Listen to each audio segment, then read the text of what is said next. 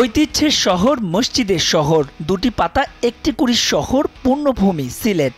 সাম্প্রতিক সময় সিলেটের গায়ে লেপটে আছে আরও একটি তকমা, সিলেট ক্রিকেটেরও শহর।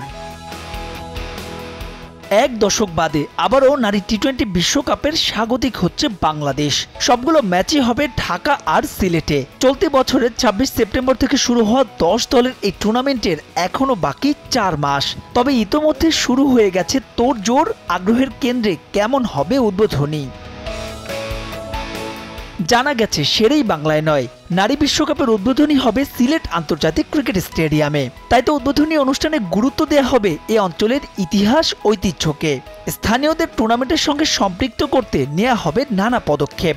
অবশ্যই আইসিসির যে পরিকল্পনা আছে, তার সঙ্গে আমরা, আমাদের স্থানীয় সংস্কৃতি, কৃষ্টি, ইতিহাস এবং আমাদের যে পর্যটনের যে সুযোগটা সিলেটে রয়েছে।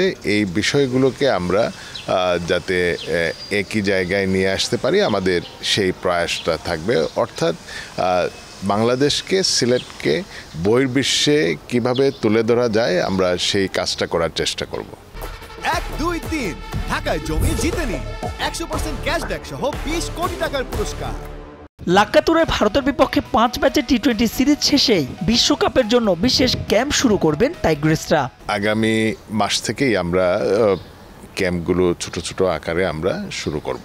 এদিকে চলতি বছর নয় আগামী বছরের শুরুতে কমপক্ষে চার দল নিয়ে নারী বিপিএল আয়োজনে ইতোমধ্যে প্রাথমিক পরিকল্পনা সম্পন্ন করেছে বিসিবির নারী উইং।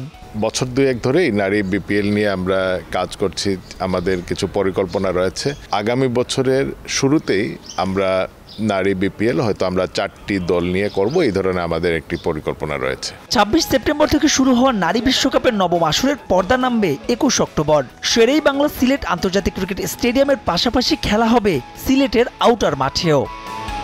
মাহবুব রিমন, সময় সংবাদ।